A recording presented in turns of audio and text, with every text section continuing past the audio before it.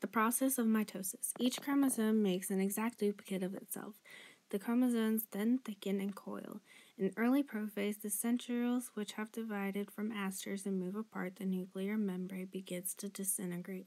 In late prophase, the centrioles and asters are at the opposite poles. The nucleolus and nuclear membrane have also disappeared. The double chromosome centromeres attached to the spindle fibers line up at mid cell in the metaphase. In early anaphase, the centromeres split half the chromosomes move to one pole, half to the other pole.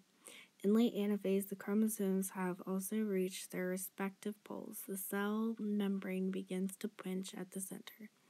The cell membrane completes constriction in telophase. Nuclear membrane form around the separated chromosomes. Mitosis is completed. There are now two cells with the same structures. They are called diploid daughter cells.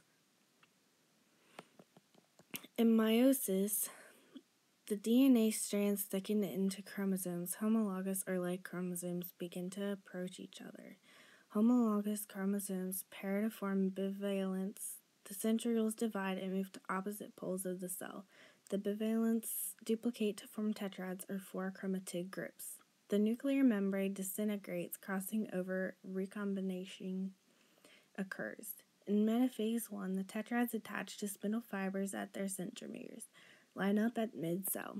In early anaphase 1, the tetrads separate and the paired chromatids move along the spindle to their respective centrioles. In late anaphase 1, the chromatids have also reached the spindle poles. The cell membrane begins to constrict. In telophase 1, nuclear membranes enclose the separated chromatids. The cell membrane completes its constriction. The first meiotic division ends. There are now two cells, each with the same number of chromatids as the parent cell.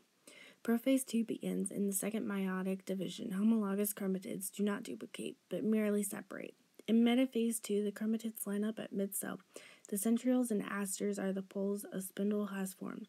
In anaphase 2, the now separated chromatids approach their respective poles. The cell membrane begins to constrict. Telophase 2 has been completed. There are now four haploid cells.